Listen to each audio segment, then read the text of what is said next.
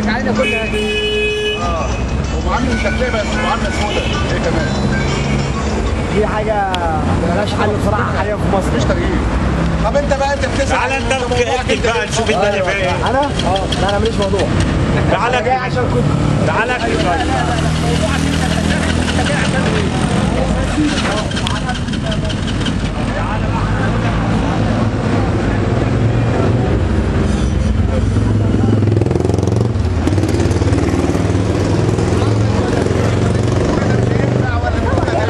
صعب الكلام ده. انت اللي بتقول عليه إحنا بنقوله زي ما هو بالظبط إحنا بنعارض ولا بنقول اي تعالى أقول لك على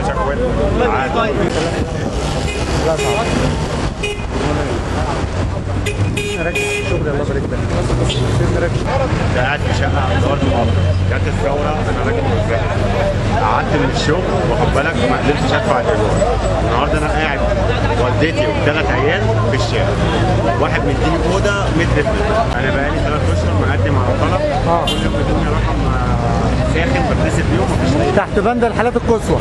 آه. مفيش أي حاجة. ما قدمتش طلب في المحافظة؟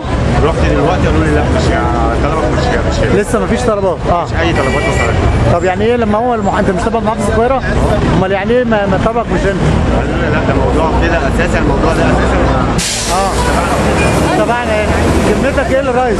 قول للرئيس يعني حا- حاول تساعدني حاول تساعد اللي هي فئة تعبانه اللي هي الناس التعبانه اللي هي الصناعية اللي على الصور اللي هي ارفقها يوم. بيوم آه. أنا راجل فقير أنا راجل دلوقتي حتى كمان الشغل بشتغل يوم في الأسبوع. آه. آه. يعني أنا بفضل بيت الأسبوع. أيوه. قاعد في الشارع. آه. حتى شغلي مش عارف يعني أنت كمان ما شغلك شغلي أنا مش عارف اظبطها داخل عليا عيال داخلين في مدارس مش عارف أظبطها وأنا في المدرسة أنا له 15 سنه آه مستقلين معايا طلع لهم كلهم وأنا ما طلعونيش حاجة. آه. والوقت أنا طالبه استعوض عشان معايا خمس عيال قتلوه وطلعوني من البيت. آه ده محافظة إيه الكلام ده؟ منيا آه. وبعدين أنا كتبت شكوى مقدمه وطالبه يعني. القاتل دوت معروف؟ قتلوه أمن الدولة. ده أمن الدولة. أمن قتلوه الدولة عشان مط... لا طلق لحيته. آه. كان بيحافظ الناس القرآن أنا كان سني 11 سنة كنت آه. حافظ نص أنت. ابنه؟ أنا ابن الاكبر اسم حضرتك إيه؟ حنف محمود. آه. غني الله قول لي بقى القصة من الأول يا محمود. هو في سنة 95 آه. كان اللي بيربي دقنه أو اللي بيصلي في الجامع كان بيقولوا عليه جامعات في الجامعات آه تبع الجامعات آه. نزلت حملة على البلد بيضربوا في الناس عشوائي آه. أبويا خد طالع عبال مرة المستشفى العام في ابو راس كانت وفاه بس آه. منزلين اللي شهاده الوفاه بدون سبب وفاه كل ما نروح نسعى رقم المحضر عشان آه. نجيب اللي كتب في المحضر آه. يقول لك المحضر اتكشف آه. يعني عدموه.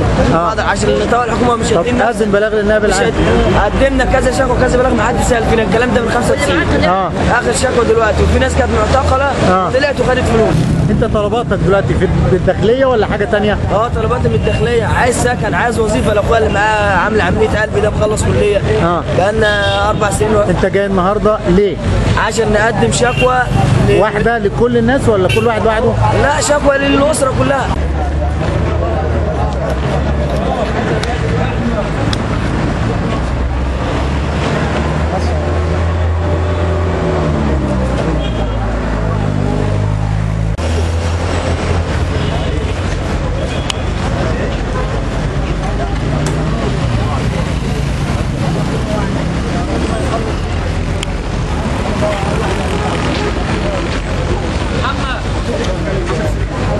انت واقف بالك قد إيه يا بابا؟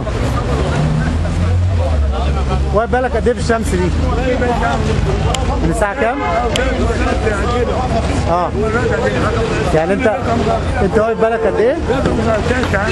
آه.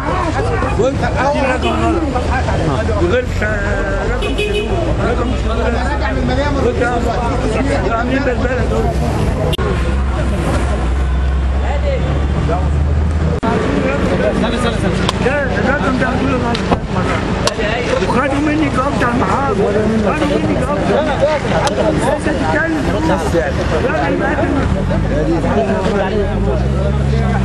أنا بقترح ان يتنظم قانون أو يشرع قانون أو قرار من رئاسه الدولة من رئاسة الجمهورية بعمل تنظيم ما بين المالك قانون قانون منظم ما بين المالك يحمي حقوق المالك ويحمي حقوق المستاجر بالظبط. نضرب نضرب مثال. آه.